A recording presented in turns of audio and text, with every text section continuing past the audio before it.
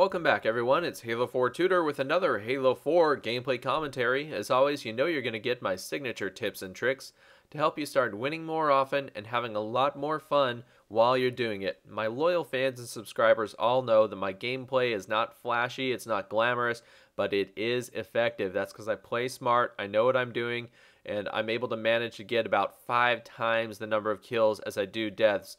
Um, that's what I do here in this game, and that's what wins games, okay? You need to keep a close eye on your kill death spread. When you go into the matchmaking uh, statistics after a game, that's the number one uh, statistic that you want to keep an eye on is your kill death spread, okay? You want to have that number uh, as high as possible. And in fact, you know, you can go into your career statistics um, and check out your career kill death spread.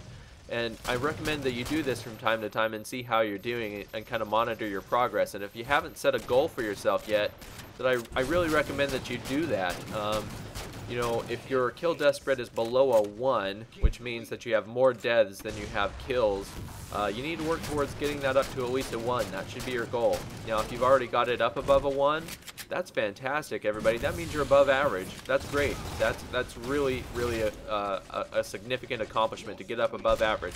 Now, if you're already up there, you want to be more than slightly above average. You know, you want to be excellent then set another goal for yourself. You know, you want to get that up to one and a half or maybe two or something in between. Uh, my goal is to get my kill death spread up to a two, my kill death ratio up to a two. And so that's what I'm working towards. I'm, that's my goal, and uh, I, I know I'm going to accomplish that as I continue working towards it. So make sure you've set a goal for yourself, and you track and monitor that throughout uh, throughout time. Now here I'm working together with DJ Ducky Duck. Look, I have a saw and an ordnance drop. I don't need to use both weapons.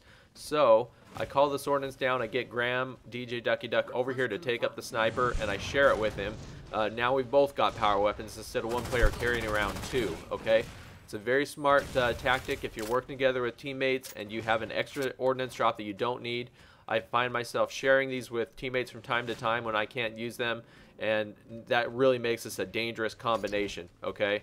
Um, that that dramatically that one move dramatically contributed to the way that we dominated this game okay so don't be afraid to share ordnance with your teammates especially if you can communicate with them and tell them you know to come and grab it all right um, I want to talk a little bit about the saw because I haven't had many games where I really emphasize this. This is a fantastic weapon. I like it a lot. It's a UNSC weapon. It's an automatic weapon and it's very, very powerful, okay? It only takes about 15 to 18 uh, rounds in order to kill an opponent, and that's about 25% of a single clip.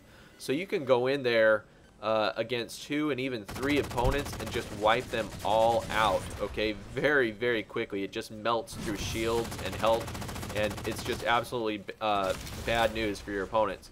The one downside with this weapon is that it takes an eternity to reload. It takes forever to reload. So, if you're in the habit, if you're one of those players uh, like me, who just kind of automatically reloads after every single kill, you need to refrain from doing that here, okay? Because what's going to happen is you're going to end up being killed while you're reloading, okay? So you need to make sure, you know, that that saw is very, very effective at, at close to medium range, okay?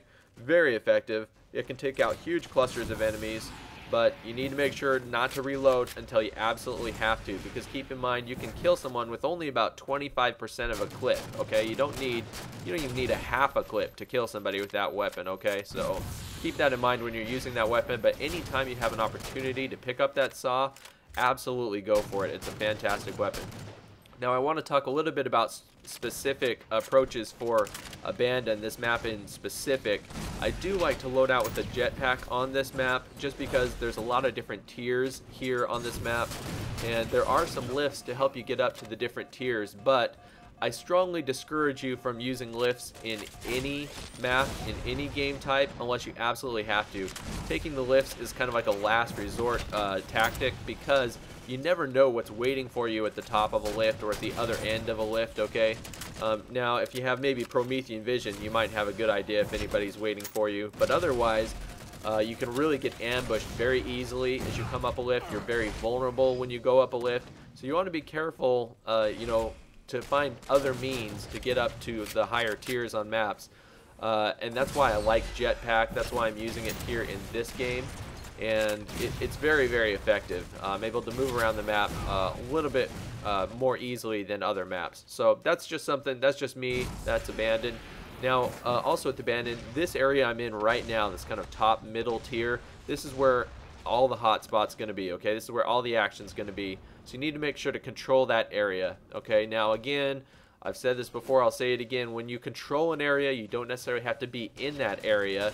So keep that in mind, okay? You can kind of hang out on the fringes and still shoot in like I'm doing right here. I got the sniper. See, I'm controlling that center area. I'm putting my influence out into that center area, but I don't have to be in that area. Now watch this. Uh, get a first shot with that player. See, he's very, very foolish. He comes right up the lift, guys. If I was that red player, I would wait for my shields to recharge before I came up the lift. And frankly, I probably wouldn't have come up the lift at all because I know that there's several players up on top of the lift. Like I said, he was very vulnerable coming up here. He didn't need to come up, especially not without any shields, okay? So, you know, if your shields are down, you get popped by a sniper or something like that, find a safe spot to regen your shields before you get back into action. That's the kind of things that loses games, is just running out there when you know you have no shields.